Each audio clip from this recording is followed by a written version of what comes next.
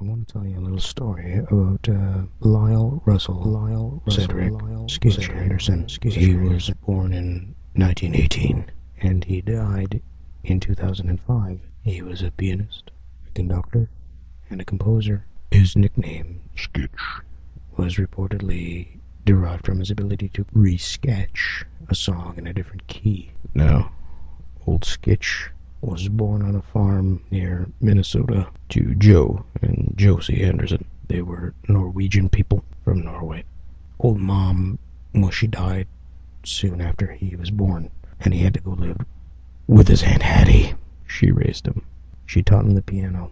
He was four years old.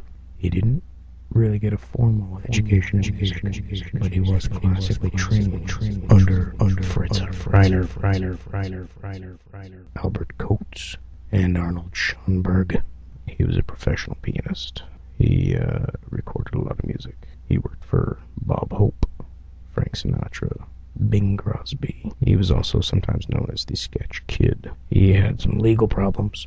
In uh, 1974, he was charged with tax evasion.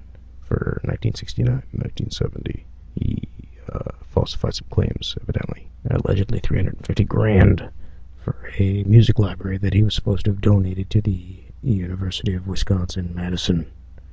He also claimed that he had consulted on the value of his collection with uh, Lenny Bernstein and Henry Mancini, but uh, they denied it. They said they never spoke to him about it. So anyway, he was sentenced, found guilty, January 17th in 1975, and he was told he had to serve six months in prison, fined $10,000.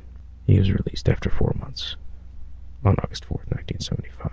And what's the point of the story? Well, point of the story is is that you can be brilliant, you can have skill, and you can make some beautiful music, but you're not above petty things. Petty things like uh, money, stealing money, and cheating the government. So anyway, here's Sketch in one of the finest renditions of Nightingale in Barney's Enjoy.